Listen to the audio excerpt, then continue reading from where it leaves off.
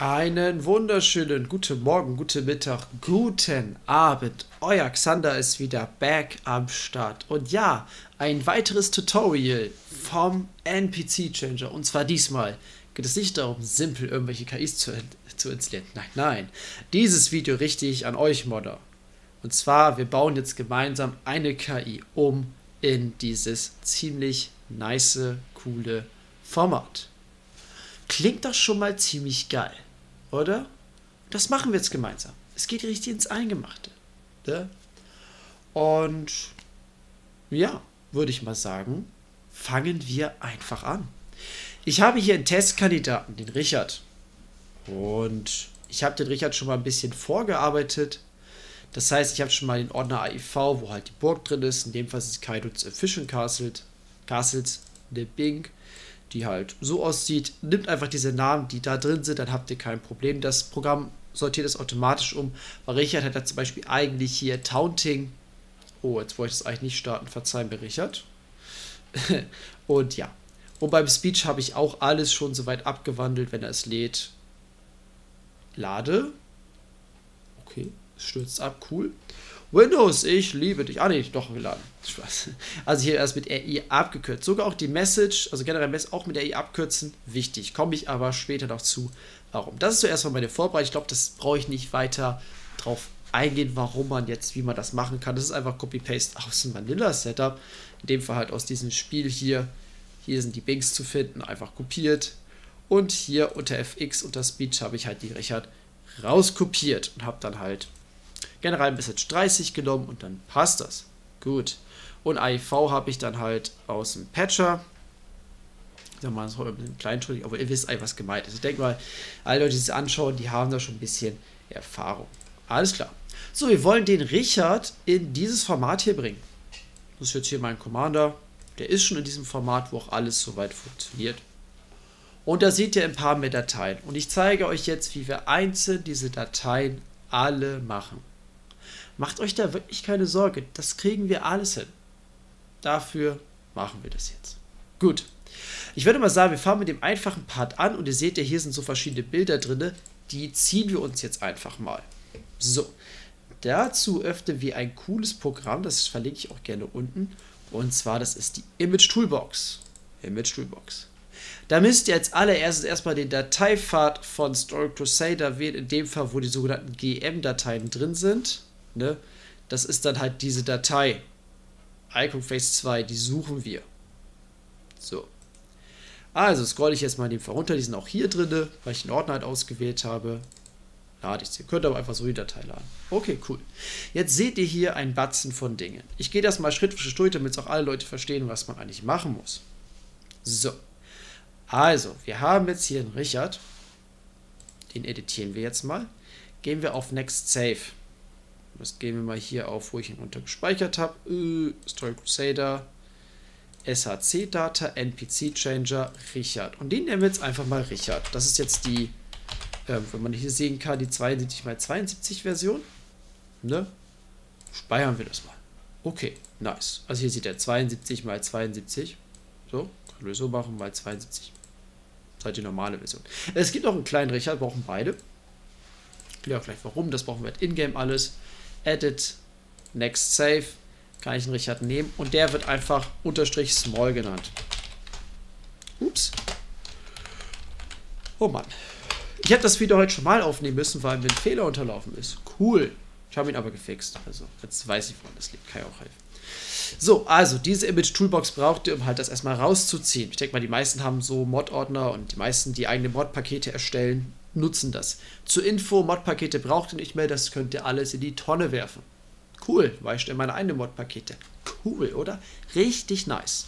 Aber es gibt ein paar Dinge, die sind noch nicht ganz ausgereift, darauf gehe ich ein. Das sind so ein paar. Das schiebe ich mal zur Seite, falls wir es noch brauchen. Ich denke aber mal nicht. So, jetzt haben wir hier zwei BMPs.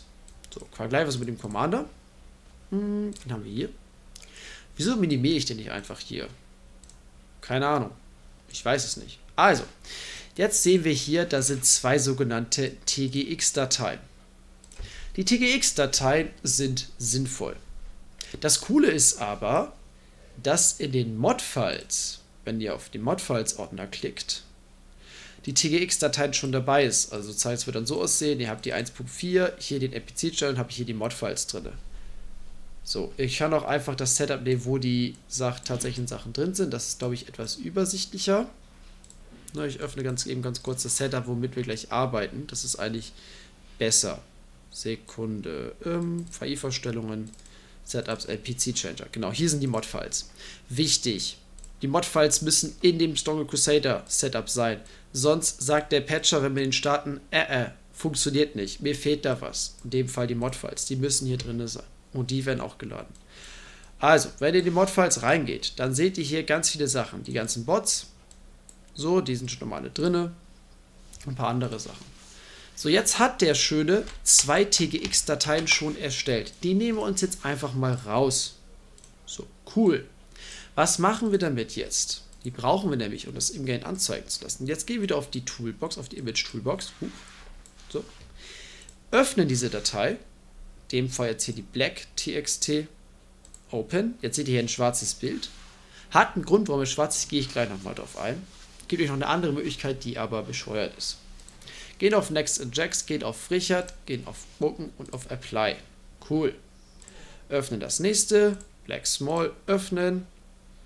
Next Inject, gehen auf Richard Small, weil es ja die kleine Version ist, und Apply. Cool.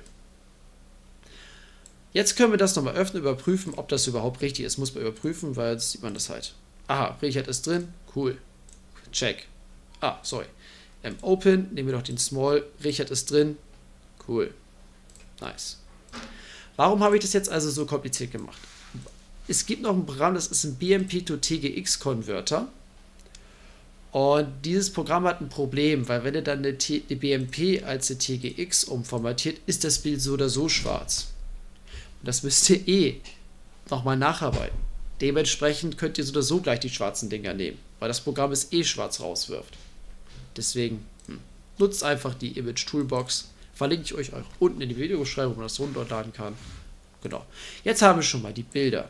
Jetzt benennen wir das wieder genauso um wie vorher. Statt Black, statt Black steht jetzt einfach Richard. Die Namen sind wichtig, weil er mit den Namen alles raussucht, was es gibt. Sehr simpel gelöst, aber effizient. Gibt wahrscheinlich auch bessere Möglichkeiten, aber momentan ist das so dies, ja, der Weg, wie es funktioniert. So, gucken wir uns nochmal den Commander an. Was fehlt uns jetzt als nächstes? Äh, habe ich den jetzt geschlossen? Wahrscheinlich habe ich den geschlossen, ne? Na gut, egal. Gucken wir uns hier im Bot an. Air Commander. Der funktioniert auch soweit. Alles gut. Wir brauchen jetzt noch die JSON, die beiden JSON-Dateien. Wie kriegen wir jetzt die JSON-Dateien? Mhm. Also, wenn ich jetzt mal hier, ich habe ein extra Setup erstellt. Ähm, nein, falsch. Äh, Vorstellungen und hier ist mein, ich habe einfach noch meinen Patcher noch mal extra runtergeladen. Und jetzt starten wir die Patcher. Cool. Weiter. So, ich habe jetzt hier eine AIC genommen. In dem Fall die verwende ich. Ne? Und Startruppen halt standardmäßig Vanilla. Ihr könnt die exportieren. Export, dann heißt es halt erfolgreich exportiert. Cool. Nice. Jetzt habe ich alles, was wir brauchen. Das können wir jetzt schließen. Ressourcen. Ich fange jetzt einfach mal mit den Truppen an. Sorry, Trupps. Exports. Man sieht halt hier das können wir, glaube ich, löschen. Das ist die richtige. Das öffnen wir jetzt. Und jetzt seht ihr hier, dass ja 16 KIs drin sind. Brauchen wir alles nicht. Können wir alles wegkicken. Brauchen wir das nicht. Das kommt bis hierhin weg. Müssen wir ein bisschen gucken, ob das vor der Formatierung halt passt. Genau, so macht es also. Okay, cool. Und jetzt diesen Komma brauchen wir auch nicht mehr. So. Achtet einfach, dass das so ungefähr aussieht. Ich glaube, ich fehlt sogar noch eine Klammer. Sekunde, ich muss ganz kurz korrigieren. Gut, ich kenne mich jetzt schon ein bisschen mehr damit aus. So. Also im Endeffekt drei Klammer müssen hier sein. Hier eine Klammer, so damit das funktioniert. Jetzt saven wir das Ganze. Das ist einfach das JSON-Format. So, sieht dann so aus. Jetzt haben wir die einzelne Datei. Oh, jetzt habe ich das sogar als Vanilla gesaved. Egal, das wollte ich eigentlich nicht. Das ist ja nämlich die Richard. Kopieren wir das, fügen das hier ein. Das nochmal überprüfen, ob das die richtige ist.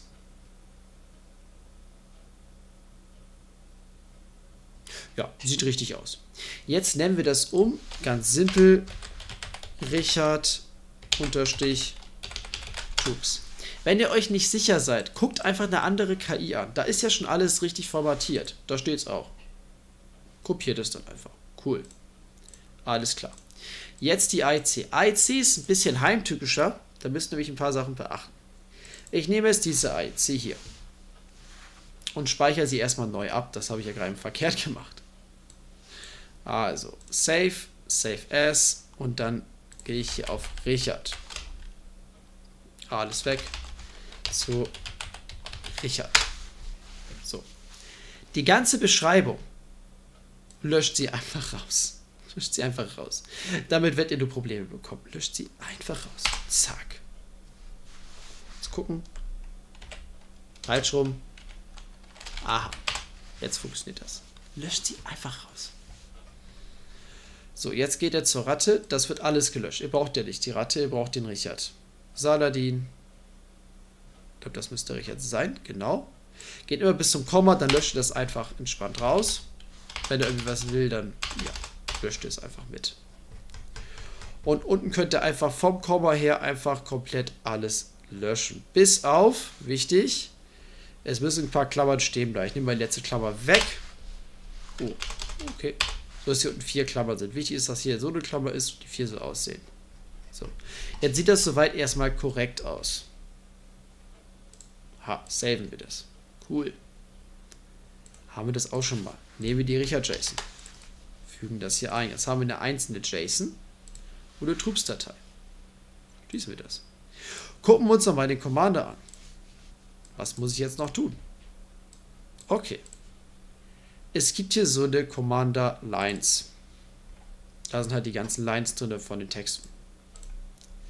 Das Schöne ist, dass in dem Modfiles-Ordner Defaults-Lines mit drin sind. Das heißt, wir haben hier einmal die Lines von 1 bis 4. Können wir das vom Vergleich machen. Und 5 bis 6. Und wie ihr sehen würdet, warum hier zwei verschiedene Lines sind, die sind unterschiedlich. Guckt ihr mal das hier an. Das ist unterschiedlich zu das hier.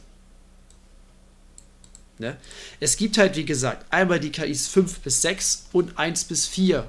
Also Ratte, Schlange, Schwein und Wolf. Unterschiedliche Lines. Und ihr seht ja auch genau, welche Sprachdatei das ist. Das ist absolut korrekt. Habe ich nochmal überprüfen lassen. Cool. Also, was machen wir? Wir kopieren das einfach. Cool. Ist doch alles schon vorgegeben. Fügen es ein. Das schon mal nice aus. Gehen in den Lines rein. Gut, jetzt habt ihr natürlich eure eigenen Lines. Für mich ist es einfacher, denn hier sind nochmal die Botlines drin von den einzelnen äh, KIs. Sorry, das war das Falsche. Ich wollte die Crusader TXT öffnen. Das heißt, die Standard Crusader TXT, die ist immer mit dabei für, ja, wenn ich was brauche. Und jetzt suche ich mal den Richard mir raus. Zeige euch ganz kurz, wie das geht. Nur gucken wir erst, wo der erste Richard ist. Der erste Richard ist hier.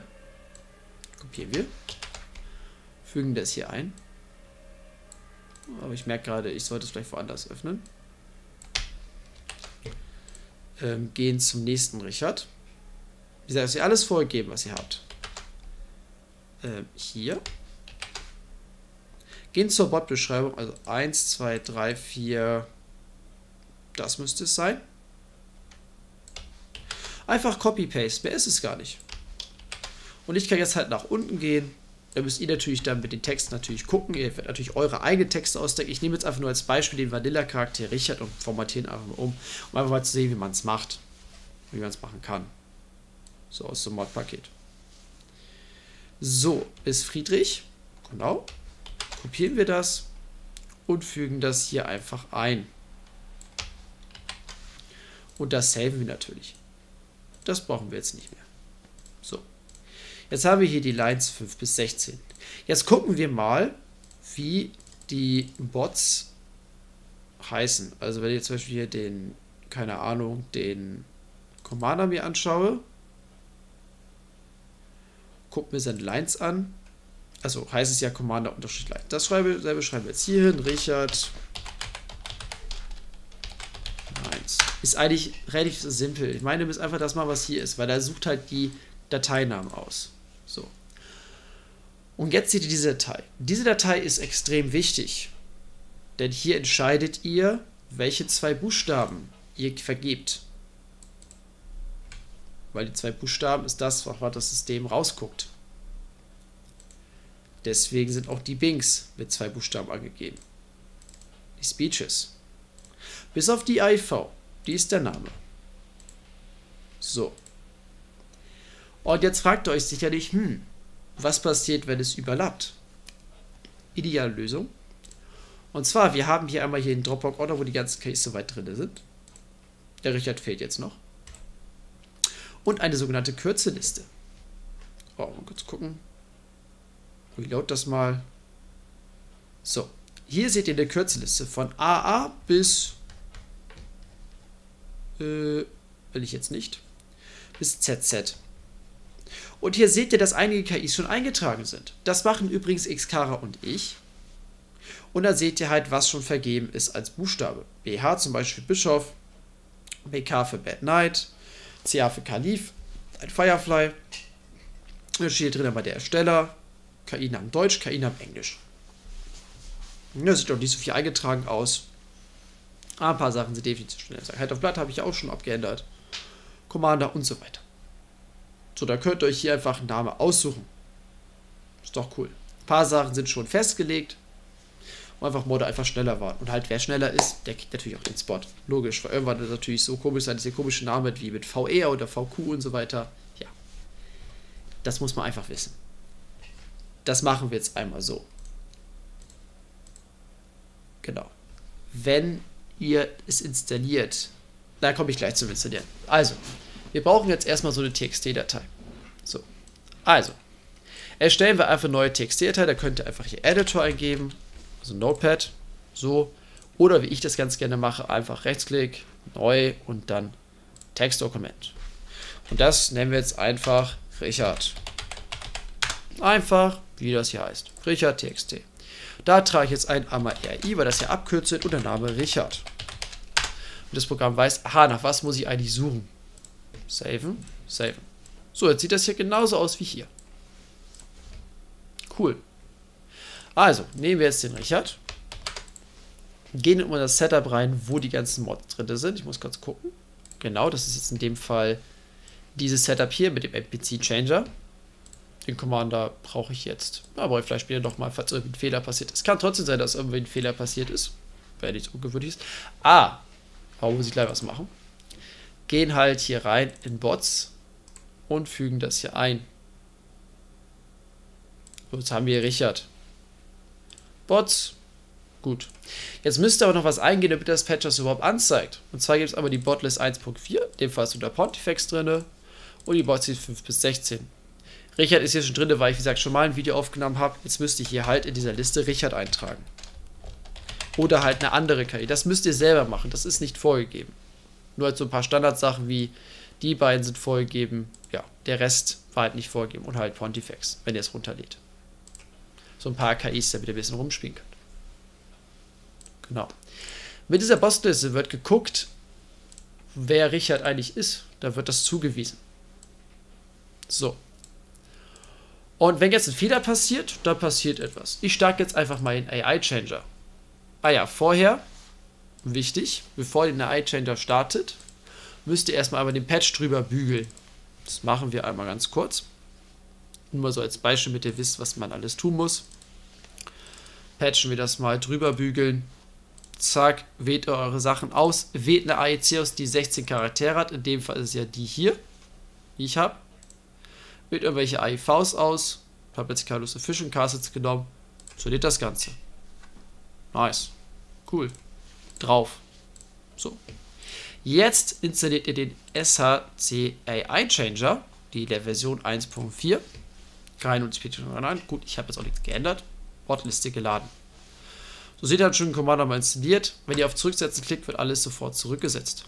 Wichtig für euch, Dateiversion einlesen, bla bla bla. So. Jetzt will ich mal den Richard ganz kurz wählen und ich hoffe, es klappt. Wenn es nicht klappt, habe ich irgendwas falsch gemacht. So, gucken wir mal ganz kurz drauf. Okay, sieht gut aus. Okay, ist installiert. Richard ist drauf. Nice. So, das heißt also, ihr habt hier keine Probleme. So. Wichtig ist einfach nur, ups, das war jetzt falsch. Wichtig ist einfach nur, wenn ich hier in die Mod-Files reingeht, Mod-Files werden auch nur genommen, die halt hier drin sind. Das heißt, diese Liste wird jetzt genommen. Diese KIs werden angezeigt im Game. Ich glaube, das ist aber, denke ich, relativ klar. Falls ihr Probleme mit AICs und Troops habt, hier ist eine Default Troop Datei. Die sieht wie folgt aus. Da könnt ihr alles eintragen, was ihr wollt. Sozusagen, falls ihr irgendwelche Fehler habt. Die ist korrekt. Hier steht nur drin, was ihr eintragen müsst. Was Quatsch ist, ist das hier. Ihr könnt auch 200 oder 300 eintragen. Ist die Frage, wie stark eure Leutheit werden soll. Kann man machen. Ich habe 10 eingetragen beim Kommando. Das geht. Und das gleiche ist bei der AEC. Das ist halt auch vorgegeben. Das heißt, damit ihr wirklich simplen Einstieg habt, das ist so eine Default AEC, die ich immer verwende. Da sind zum Beispiel ein paar Sachen einfach mal drinne. Einfach ein paar Standardsachen. Default. Jetzt nichts Spannendes. Aber sogar von seiner KI oder so. Ich habe eine andere Default, sehe ich gerade. So, damit eine, eine AIC drin ist, die funktioniert. Dann steht drin, welchen Bot ihr angeben wollt, Richard und so weiter, bla bla bla. Ist eigentlich egal. Hauptsache, ihr gebt einen Bot an, richtig geschrieben. Und halt Custom Name könnt ihr halt dazugeben. So, falls ihr welche Probleme habt. Jetzt installieren wir aber noch ein paar weitere KIs. Ah ja, sorry, ich habe was übersehen. Bevor ihr den Patch drauf spielt, müsst ihr einmal diesen Button drücken. Und jetzt sagt er so, es geht nicht, bla bla bla, weil ich halt das zurück, also mal nochmal zurücksetzen. Warte mal hier, jetzt erstmal, bevor ihr sozusagen irgendwas macht, Dateiposition immer einlesen. Das ist ein bisschen nervig, dass der Prozess gemacht wird. Ich hoffe, das wird irgendwann gefixt, dass man das nicht mehr tun muss und automatisch passiert. Und jetzt klicken wir, was ich auf Richard und installieren jetzt einfach beim Sultan. Cool. So. Ja, Ingame-Bilder, nochmal ganz kurz dazu. Ingame-Bilder sind halt diese hier. Das sind diese hier. Und das sind die Ingame-Bilder, die halt hier, hier im Patcher angezeigt werden. Wie ihr seht, wenn ich jetzt zum Beispiel was ich in Udwin auswähle, dann seht ihr hier ein, hier, das Bild hier. Ich mache mir, I don't care, also ihr könnt jetzt auch gerne die Mühe machen und da diesen Hintergrund machen, ist es mir egal, weil es nur auf dem Patcher ist, mich interessiert es nicht. Mich interessiert, wie es in-game aussieht. Jetzt haben wir mal so ein paar KIs drin. Ich noch, komm, gehen wir den Commander noch rauf, auf hier Kalif. Und weil es so schön ist, machen wir noch eine Botliste wechseln. Dann habt ihr nämlich die 1, die Version, also die Botliste 1 bis 4 und packen noch meinen Pontifex hier auf Version 2 drauf. Nice. Warte. Ich habe gerade irgendwas gemacht. Manchmal stürzt das Ding eben ab. Nice. Geistert. Ah. Ich habe gerade mich irgend, hab irgendwas gemacht, was ich nicht hätte tun sollen. Nice. Da ist halt so ein bisschen der Nachteil dieses Ding, das ist halt noch nicht. Wie gesagt, es funktioniert ganz gut mit den KIs, die da sind. Eigentlich. Kann sein, dass ich irgendwas Aussehen verändert habe hier. Wollen wir uns nachgucken? Nö. Sollte soweit alles korrekt sein. So, starten wir nochmal. Verzeihung, das passiert immer mal wieder. Muss man ein bisschen Gefühl für entwickeln. Und probiere es nochmal aus. Äh, naja gut, wollte jetzt, jetzt wechseln. Pontifex. Installiere doch mal. So, also.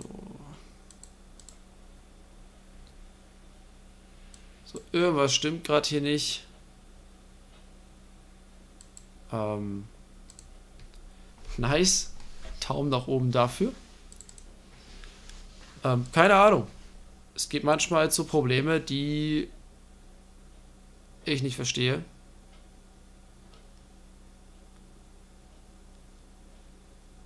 Oh. Oh, anscheinend ist das wohl schon in Benutzung. cool. Ähm,